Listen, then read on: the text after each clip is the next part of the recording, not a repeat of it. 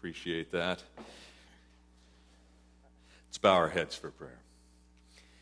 Heavenly Father, more than anything else, we'd rather have Jesus. We pray that's why we're here today, but if it isn't, we pray that somehow Jesus would speak to us through his Spirit in such a way that we would commit ourselves to you. Use me, Lord, speak through these clay lips that you may be glorified and magnified in our lives. We pray in Jesus' name. Amen.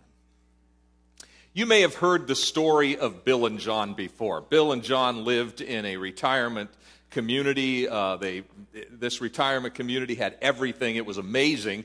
Uh, it had been their dream, them and their spouses, to move to this retirement community. And, community, and every Tuesday and Thursday morning, Bill and John would play a game of checkers or chess together. Now, the interesting thing about the game of checkers or chess that they would play was because Bill was kind of starting to lose his memory, John would often have to prompt him. But John noticed that Bill was doing a little better. And so one day, John asked Bill, he said, Bill, he says, it seems like you're doing a little better with your memory. You, are you're doing uh, these moves without as much prompting. And, and, and uh, Bill said, Yeah, that's, that's true. That's, what I, that's what's happening. John said, well, well, why is that? What's, what's going on? How come you can do that better now? And, and Bill said, Well, uh, my wife and I have been going to a memory gym. And uh, uh, you know, John said, Well, what do you mean, a memory gym? And Bill said, Well, this memory gym, they help you to go through brain exercises to improve your memory. And, and there really are these things. I've had members who've gone to these. And so, um, and so uh, Bill shared with John all about this, and, and John said, "Well, that's really interesting." He said, uh, "He said, do you think it's helping you?" And Bill said, "Oh, absolutely, it's helping me." And uh, and John said, Well, what's the name of this memory gym? And uh, Bill thought for a moment. He said, Well, he said, let me put it this way. He says, You know that uh, flower that's uh, red and it's velvety and it's long stem and it's got thorns on it? And John said, Yeah. He says, he says, You mean a rose? And Bill said, Yeah, a rose. And he turned around to his wife across the yard. He said, Rose, what's the name of that gym we've been going to?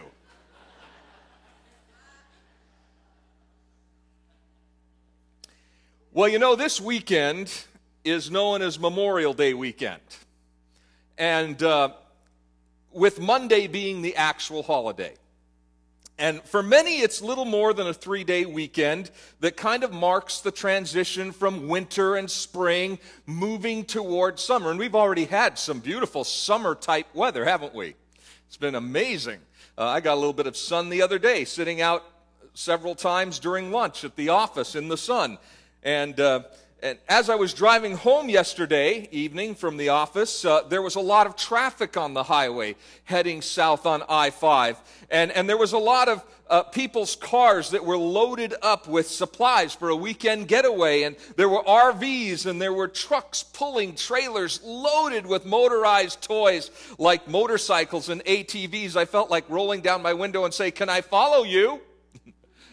Because uh, I grew up on those things and, and it looked like a lot of fun. But the true original intent of the weekend was to be a time of remembrance, a memorial. In every city and town and community, there are memorials. We see memorials in the form of crosses along the highway, signifying where a loved one was killed in a tragic automobile accident. We see memorial monuments are set up in nearly every city to commemorate war heroes or great citizens of that town. Buildings, bridges, highways, colleges, universities, hospitals, airports are named after people to help us remember them. Every memorial has a message. A memorial is a commemoration to recollect, to rehearse, to remember. World War produced, uh, II produced many heroes.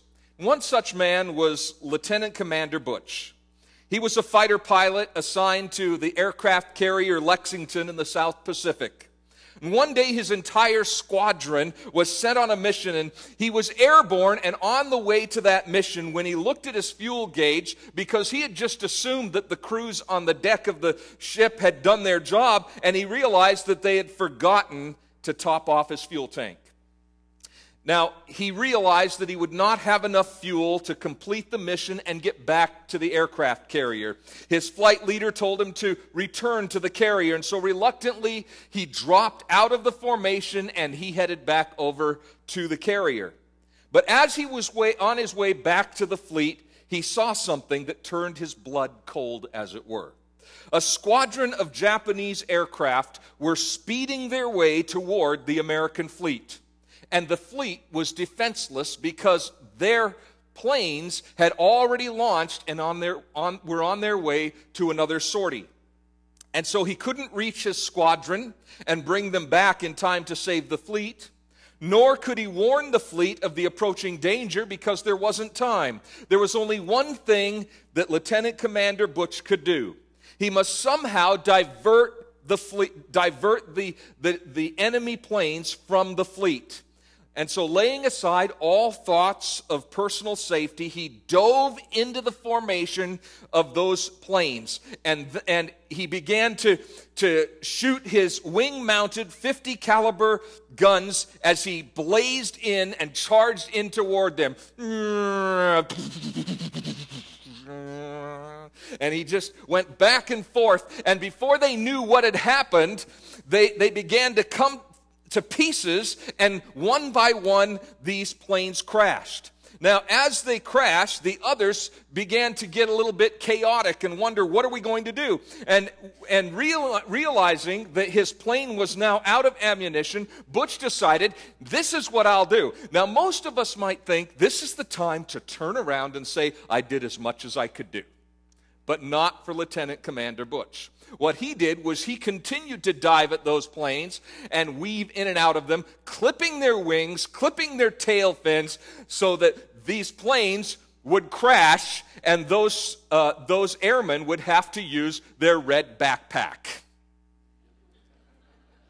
You were paying attention to the children's story, weren't you? And finally, exasperated, the Japanese squadron took off in another direction. And Deeply relieved, Lieutenant Commander Butch and his tattered fighter limped back to the carrier. Now, of course, the fleet hadn't seen what had happened. This was just far enough, it was out of their sight. Uh, but as he told his story, they reviewed the film from the gun camera that was mounted on his plane's tail. And it showed the extent of Lieutenant Commander Butch's daring attempt to protect his fleet. He had, in fact, destroyed five enemy aircraft all by himself. This took place on February 20, 1942. And for that action, Butch became the Navy's first ace World War II pilot and the first naval aviator to win the Congressional Medal of Honor. A year later, though, Butch was killed in aerial combat at the age of 29. His hometown would not allow the memory of this World War II hero to fade, and it's likely that if you've traveled much in the United States by air, you have been to the airport his city named after him, the busiest airport in the United States, Chicago's Butch O'Hare Airport, named in memory as a tribute to the courage of this brave young man. A long time ago, a woman named uh, Moina Michaels wrote this short poem, poem. We cherish the poppy red that grows on fields where valor led, that seems to signal to the skies that blood of heroes never dies. We have freedom today because of men and women who have fought and died to secure freedom. And so Memorial Day is a day uh, to remember, a day of remembrance for those who have died in our nation's service. It traces its roots back to 1868 when General John Logan of the Grand Army of the Republic declared May 30th as a day of remembrance. Flowers were placed on graves of Union and Confederate soldiers at Arlington National Cemetery. And uh, the day was originally called Decoration Day because they would decorate the tombs and gravesites. In December of 2000, Congress passed a resolution which asked all Americans to voluntarily and informally observe a moment of remembrance and respect at 3 p.m. local time. All the heroic acts on battlefields throughout history have made our country what it is today. We enjoy freedom and wealth that are unparalleled. We enjoy our freedom and our luxuries, and, have, and yet we, we must remember they have come at a great price. We enjoy freedom in America because men and women have died for our country. The cost of freedom is shed blood. We must never forget that.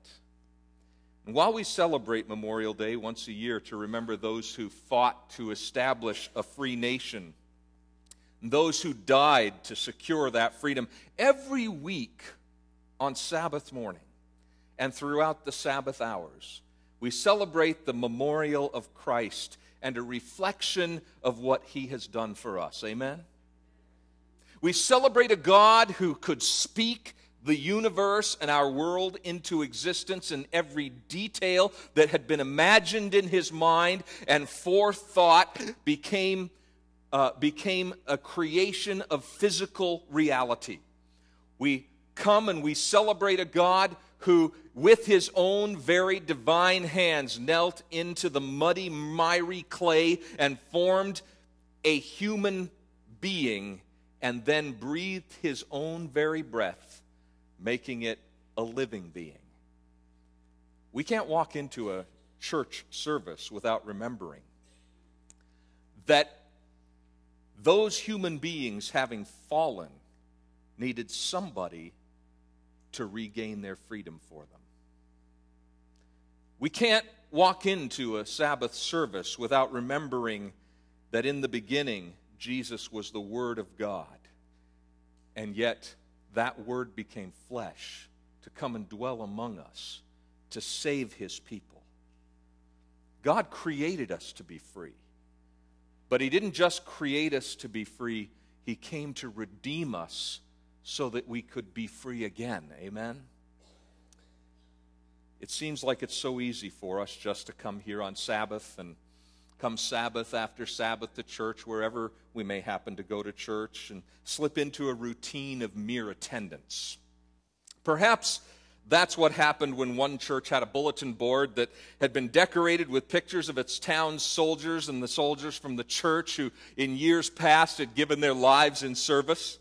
Uh, the board was trimmed with red and white and blue and had little flags on it. And the little boy was looking up at the board after church one Sabbath when the pastor came up and he asked the boy how he liked the board. And the little boy said, Well, he said, uh, he said, Tell me about it. And so the pastor explained that the pictures were uh, the men from their town and from their church who had died in the service. And the little boy thought for a moment and then he looked at the pastor and he said, Was that the morning service or the evening service?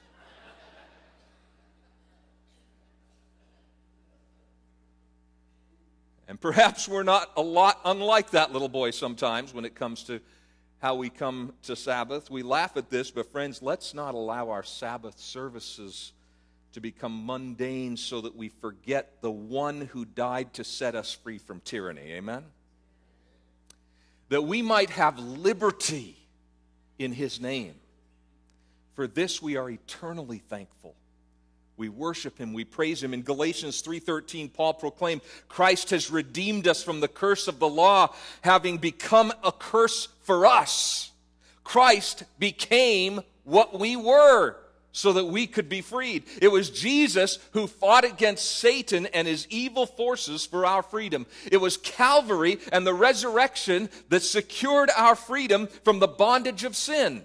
Paul is proclaiming that man does not have to live in bondage to sin. We don't have to.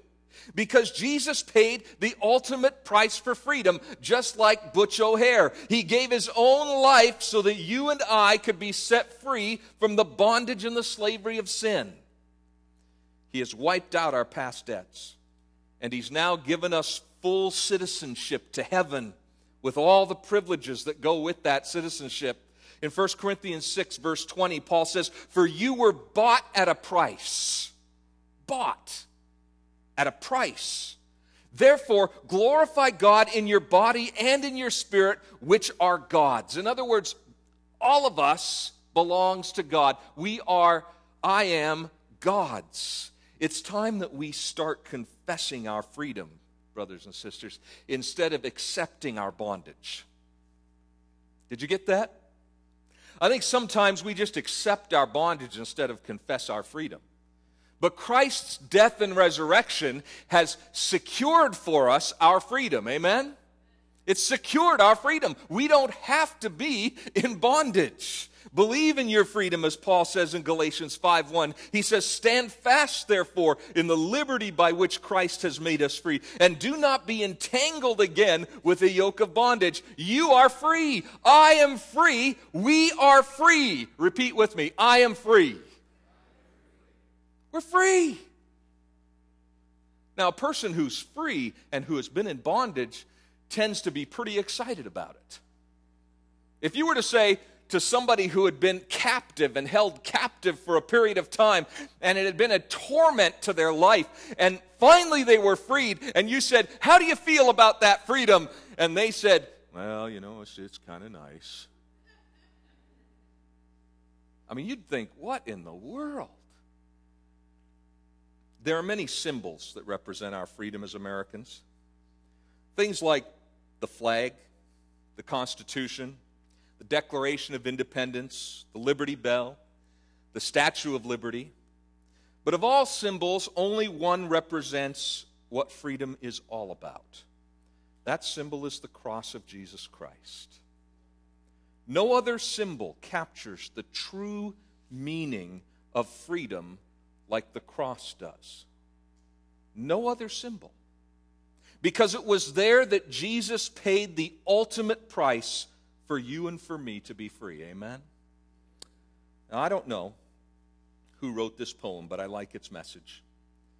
In New York Harbor stands a lady with a torch raised to the sky, and all who see her know she stands for liberty for you and I. I'm so proud to be called an American, to be named with the brave and the free. I will honor our flag and our trust in God and the Statue of Liberty. On lonely Golgotha stood a cross, with our Lord raised to the sky, and all who kneel there live forever, as all the saved can testify. I'm so glad to be called a Christian, to be named with the ransomed and whole, as the statue liberates the citizen, so the cross liberates the soul. When we realize this liberating truth, then our natural response is a desire to give our lives in faithful service to the one who so graciously and sacrificially gave his life for us. And this is another thing that we can remember today. Not only what those who have died for our country have done to help gain that freedom, and, and not just only what Jesus has done for our spiritual freedom and and I, I shouldn't even say only, but also what other believers before us have done because of that freedom. Like a Memorial Day plaque of granite, there is a wall of remembrance in Hebrews chapter 11, which honors those who set a great example of faith response to God. The first person in the Bible to die, who was the first person in the Bible to die?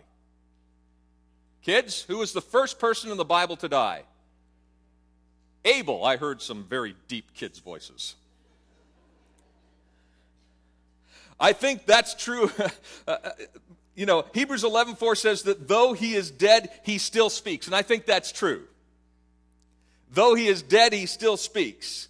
Um, and I think that's true of the person of faith because death is not the end in the sense that they still speak through the influence of their life and their death.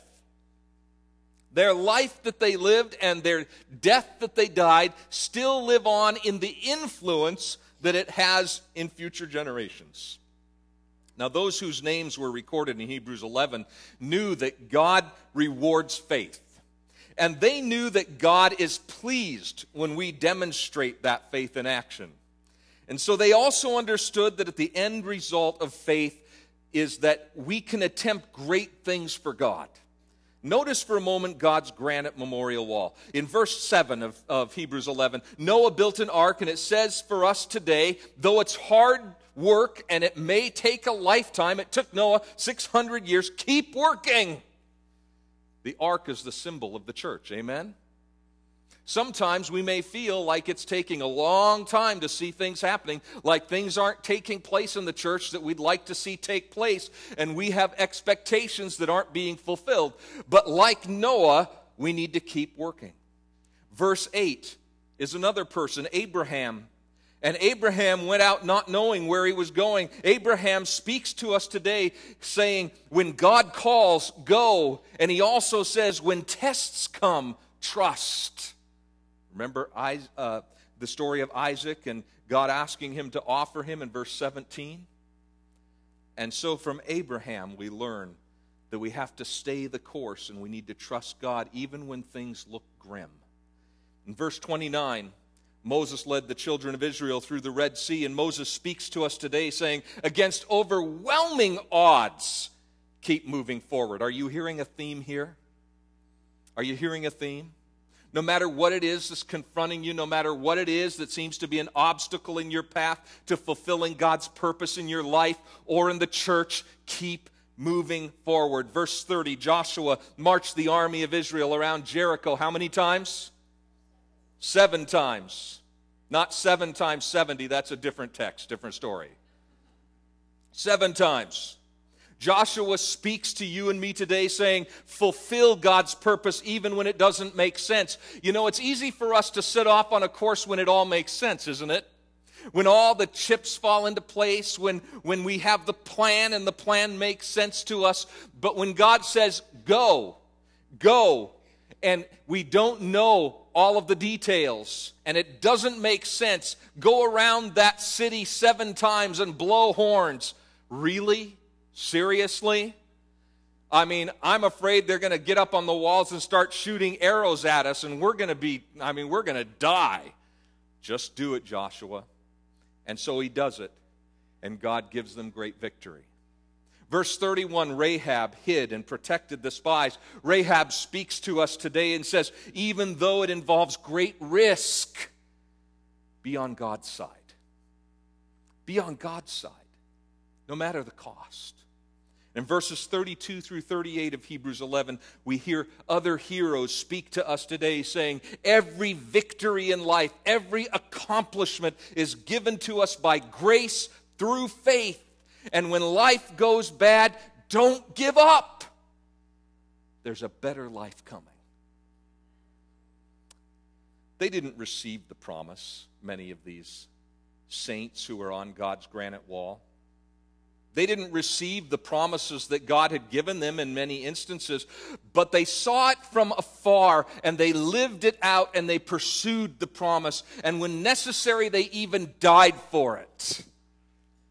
And each of these heroes inscribed on God's memorial understood Paul's exhortation in Philippians 1, verses 27 to 30, where Paul writes this. He says, Whatever happens, whatever happens. Can you say that with me?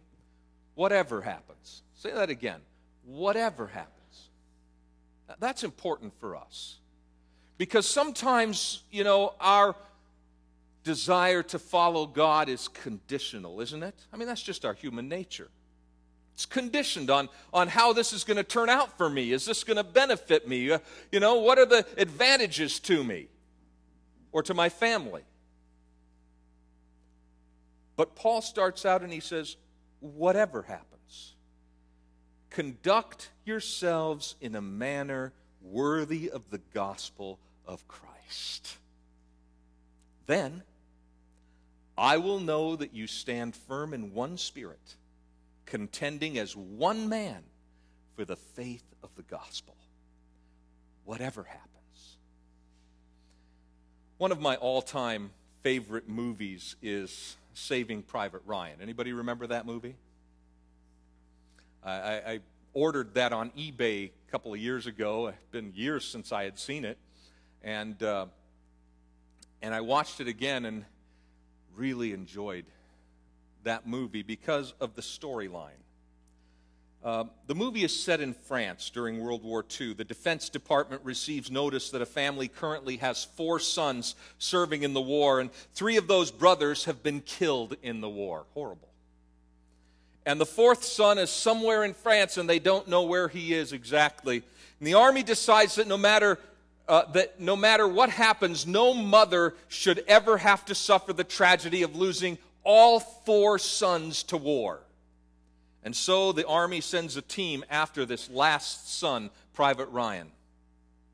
The movie chronicles how, in their search for Private Ryan, this unit of soldiers must overcome countless obstacles, not the least of which is the enemy, who continues to attack them at every turn, it seems. Along the way, as members of their team are wounded, and some are even killed, they begin to ask this question Why is the life of this one private more important than the lives being sacrificed to bring him home? I think every soldier must at some point ask that question. Why is his life more important than mine? Tom Hanks plays the leader of that unit and in search of Ryan, and, and he does his best to maintain the focus of his men. He's a school teacher by trade at home, but now he's this unit leader, and he tells them that whether they fully comprehend it or not, this is their mission, and they are to carry it out. Their duty is to their country, and their country has asked them to save Private Ryan. And finally, they locate Private Ryan. They tell him that they have orders to get him home. They inform him about his three brothers who have perished in the war preceding him. But Private Ryan doesn't want to leave his unit.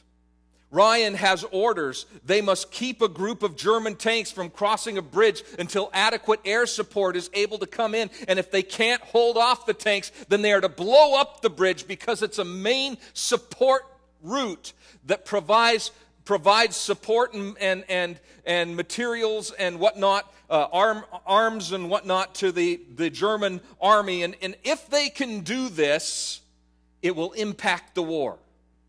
Private Ryan's honor and sense of duty to his unit wouldn't allow him to walk away from a battle that could cost his army buddies their lives. He didn't feel justified in himself flying off to freedom and safety and leaving his comrades to fight. So Private Ryan convinces Hanks' character and his outfit to stay and to fight with them. He promises that he will leave with them after the battle. And so Hanks agrees but only if Ryan will stay out of harm's way so that he can make it back home safely to his mother. A bloody battle ensues. Many lives are lost. And the remainder of Hanks' entire outfit is killed in this battle. But as the battle comes to its conclusion, their mission is fulfilled as Private Ryan, Ryan has been saved. And at the conclusion of it all, there's a touching scene. Tom Hanks' character is dying, leaning against uh, the wall or some debris on the bridge. Private Ryan comes to help, but Hanks tells him to go on, and then pulling Ryan close, he says with all the voice he can muster, Earn this. Earn this. In other words, go home and live in such a way as to commemorate and to honor the lives that have been sacrificed to save you. Paul is writing to the Philippian Christians and to you and me today. And he tells them and he tells you and me the same thing that every person who has sacrificially give their li- given their lives for others before already knew. He tells the Christians of Philippi and you and me the same thing that Jesus well understood when he willingly went to the cross. Earn this. Live a life worthy of the gospel of Jesus Christ, not to gain salvation or right standing with God, but because he has so graciously and abundantly saved you at such great cost. Live a life worthy. And that's what Jesus calls you and me to do today. Live a life worthy of Jesus Christ. How? By remembering that those who have come before including Christ, committed themselves entirely to God and his mission. And so, along with Paul and so many other faithful, will you and I dare to declare, I pledge allegiance to the Lamb.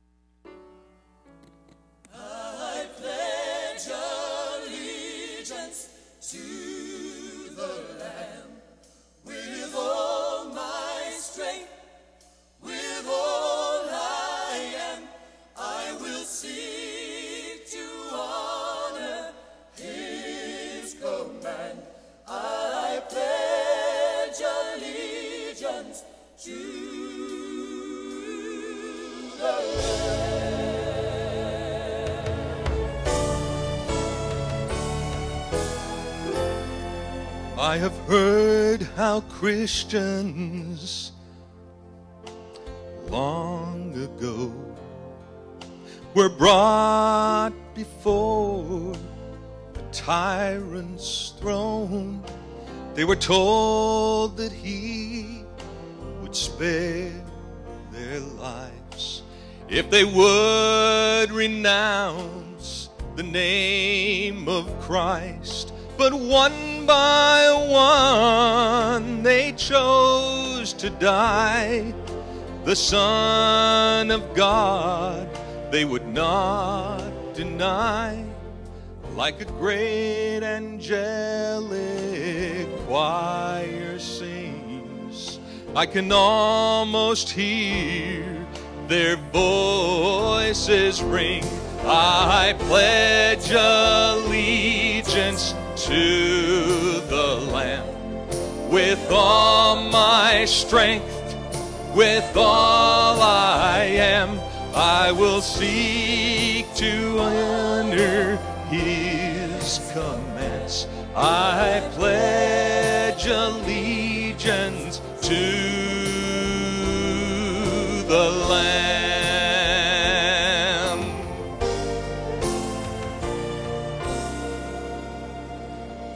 The years have come and the years have gone, and the cause of Jesus still goes on.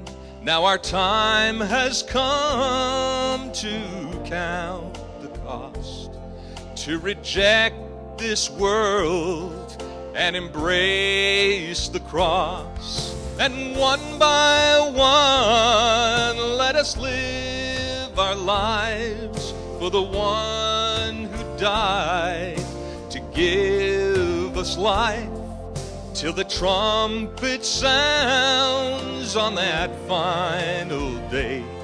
Let us proudly stand and boldly say, I pledge allegiance to the Lamb with all my strength, with all I am. I will seek to honor His commands. I pledge allegiance to the Lamb, to the Lamb of God who bore my pain, who took my place, who wore my shame. I will seek to honor his commands. I pledge allegiance to the Lamb.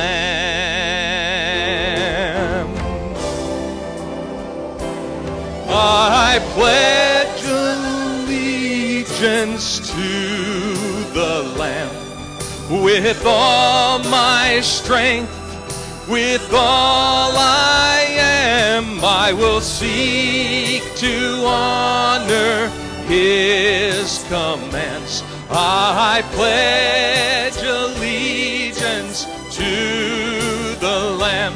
I pledge allegiance to the Lamb. with all my strength, with all that I am,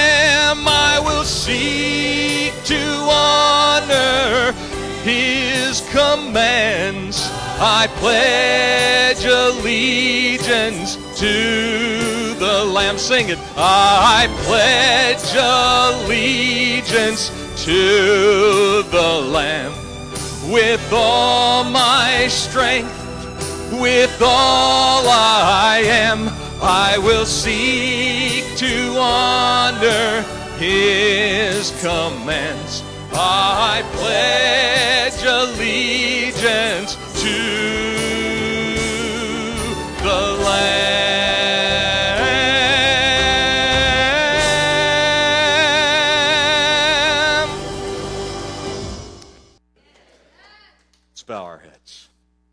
Father God, more than anything else in this world, when we recall and memorialize those who've gone before and given their lives for freedom, and all the more our dear Savior Jesus, who died on Calvary's cross and now has left an empty tomb and prepares to meet us soon.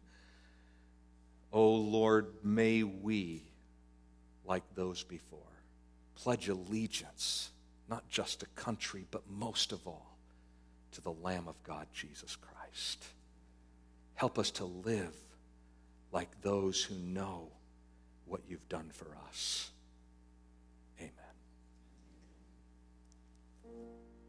Amen.